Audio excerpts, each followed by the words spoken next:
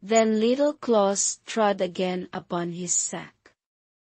And it squeaked as before. 然后，小克劳斯又用脚去踩口袋，又发出了那种刺耳的声音。